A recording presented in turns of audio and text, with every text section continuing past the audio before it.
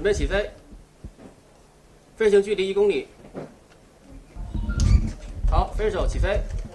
七月十六日，武汉市水务局水旱灾害防御处副处长杨磊坐在指挥部里，调度三架无人机执行巡堤任务。一声令下，武汉市防汛抗旱指挥部办公室九楼平台上，三架无人机渐次起飞，向目标方向飞行。同一时间，五楼指挥室内，无人机拍摄的画面实时传送至大屏幕上。杨磊介绍，今年入汛以来，武汉市水务部门组建了一支无人机大队，参与到巡堤查险、人员搜救等工作中。推出无人机实时直播平台，通过 5G 信号实时将现场视频传回指挥中心。截至目前，已运用一千余台次。其实无人机啊，其实这个东西不新鲜。其实我们在幺六年这个武汉防洪的时候已经用到过了。幺六年我们刘山湖分洪其实已经用到过，但是那个时候跟现在不同的是，那个时候我们需要去飞手机现场飞，然后把视频拷回来，拷到我们的指挥室，然后再给专家领导去决策去观看，这个时间相对非常迟滞。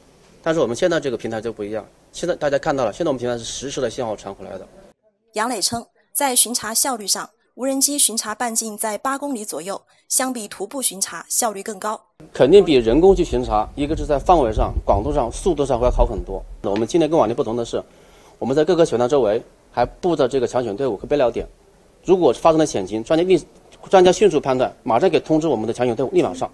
杨磊表示。下一步准备将多台无人机实时直播系统纳入到智慧水务建设中，系统成熟后还可推广到消防、应急、交管、城管等部门，提升城市治理水平。今年入汛以来，武汉接连遭遇七轮强降雨，总降雨量排名历史同期第三位。七月十二日至十三日，长江洪峰过境武汉，长江武汉关水位达到二十八点七七米的峰值，成为有水文记录以来历史第四高水位。二零零二年建成的汉口江滩首次全面过水行洪。